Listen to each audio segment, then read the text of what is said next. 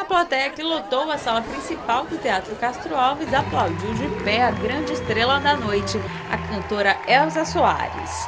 Ao invés de soltar a voz, foi o dia de soltar o verbo e relembrar momentos importantes da trajetória de vida da artista na primeira edição do projeto Mulher com a Palavra.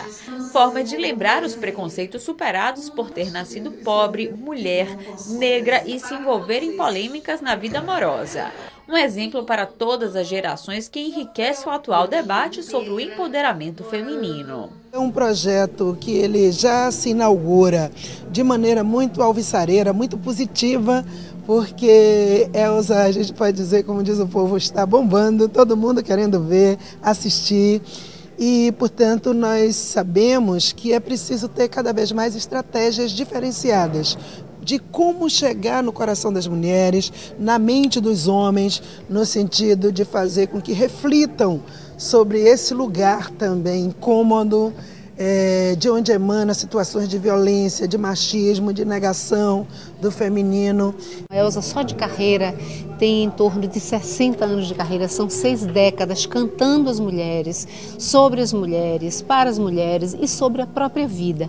A própria Elza ela é um ícone assim do que passou, né, dos perrengues pelos quais passaram as mulheres brasileiras, sobretudo as mulheres mais vulneráveis, negras, nascidas e crescidas em favelas, né, que passaram por violência violências de todas as sortes, levando em conta assim preconceito, machismo, preconceito de cor, preconceito de classe.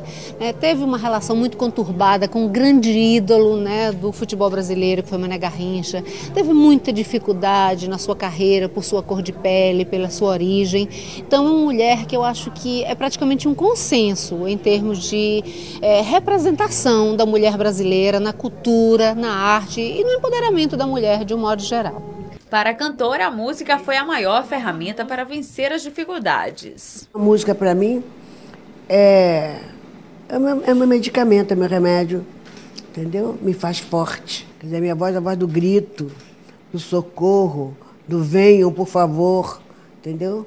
Com a minha voz eu fui fazendo isso, fui rompendo barreiras e fui chegando para o público que foi ao Teatro Castro Alves na data em que se comemora o Dia Internacional da Mulher. O projeto com Elza Soares foi muito mais que um bate-papo.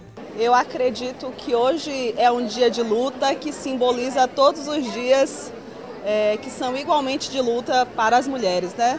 A cada cinco minutos uma mulher é vítima de violência e eu acho que o feminismo e esse dia de luta ele nos diz isso, né?